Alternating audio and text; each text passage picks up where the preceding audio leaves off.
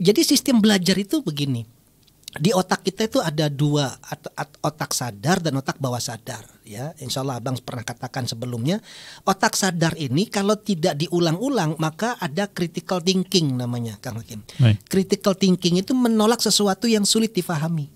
Baik. Jadi belajar pertama kalau sulit itu akan akan tertolak, dibuang. Belajar yang kedua masih sulit juga akan tertolak lagi. Belajar yang ketiga ah rada paham nih, tapi belum bisa juga itu juga tertolak. Begitu berulang-ulang critical thinking itu akan menipis. Hmm. Nah, ketika Baik. critical thinking ini menipis, dia jadi paham. Nah, kalau sudah paham bukan lagi di otak sadar, dia akan turun di bawah sadar. Nah, di bawah sadar ini bisa jadi bentuknya adalah refleks gitu. Karena otak di bawah sadar itu kerjanya sangat cepat sekali. Dan pilihan-pilihan itu kadang-kadang ada pilihan dalam bentuk pencitraan. Baik. Artinya pilihan yang masih dalam otak sadar.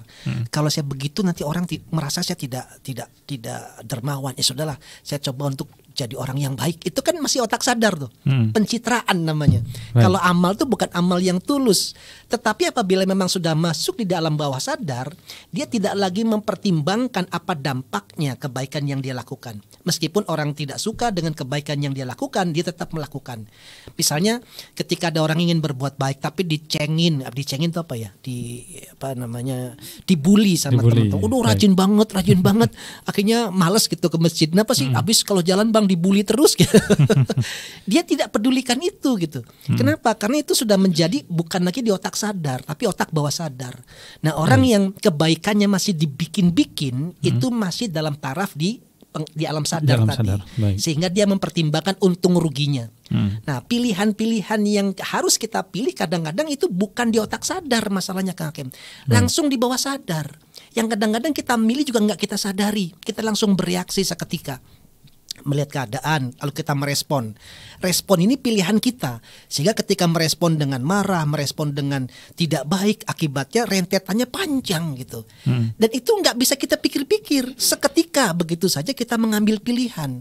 Nah, itu tidak tidak muncul eh, dalam dalam otak otak sadar, tetapi seketika refleks gitu ya. Akhlak itu begitu. Maka harus diulang-ulang tuh. Makanya ada afirmasi-afirmasi itu menyatakan diri, ayo dong, kamu kan penyabar, ayo dong, kamu kan penyabar. Diulang-ulang menasihati diri. Sehingga kalau kita mengulang-ulang untuk menasihati diri, apabila terjadi sesuatu, "Us, sebentar, kan aku mau jadi penyabar gitu. Baik. Masa sih aku harus marah gitu.